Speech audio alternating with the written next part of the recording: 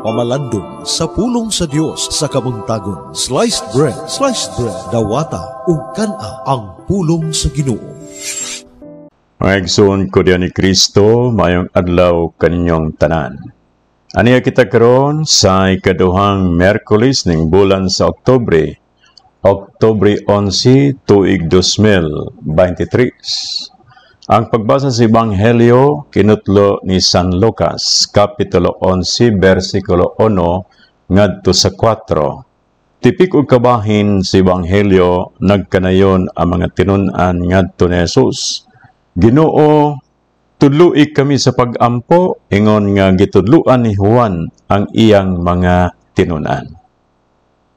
Sa akong pagpamalandong sa Ebanghelyo karon, labi na sa mga linya sa Ebanghelyo, nga akong gibasa na presko sa akong panumduman ang akong kasinatian sa magsaysay pa ko na assign. Si Reverend Glenn Elmedolan iabot kauban ang Coastal Choir aron pagtudlo sa mga alawiton sulod sa liturhiya Santos nga misa. Ang mga awit sulod sa misa mao ang pagdaig sa Dios o paghimaya sa Dios.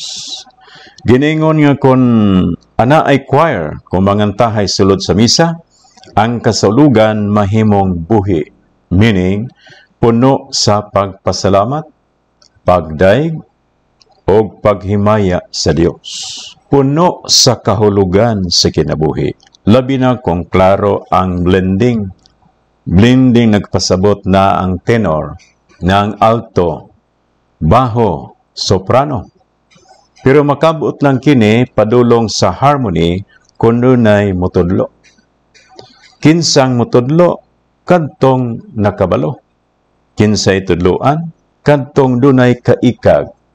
Kadtong dunay talento, dunay commitment. Sa ako parokya karon dunay mga choir groups sa akong parokya San Isidro, Labrador Parish, Maigola na del Norte, ng male choir, ng senior citizens choir, Sigapod choir, Balaggatasa choir, youth choir.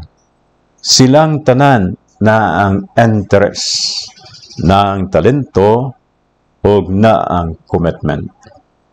Sa panahon ni Jesus, labi na sa pagkinabuhi isip matuhuon sa Dios, ang pagtudlo importante kaayo.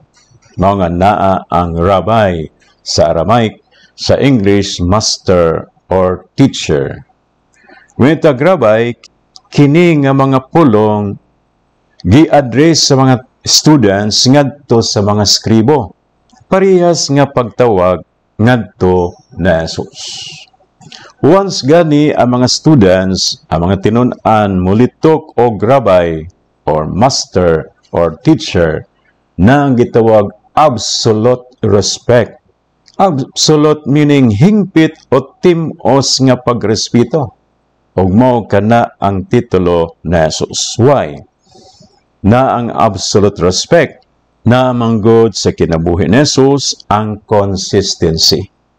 Na ang pagampo lihok. Ang ampo na ang constant dialogue sa source of life nga mao ang Heavenly Father. Lihok kini sumala sa kabuton sa Dios ug mao kana sa Jesus.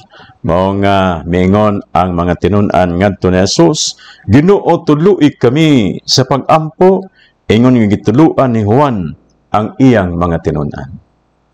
Ako si Father John Bagyo Gualisa, kasamtangan na assign sa San Isidro Labrador Parish, Maigol, Lana del Norte. Daghan kayong salamat sa inyong pagpaminaw o pagtanaw. God bless you. Sliced bread, sliced bread, dawata ug kana ang pulong sa Ginoo.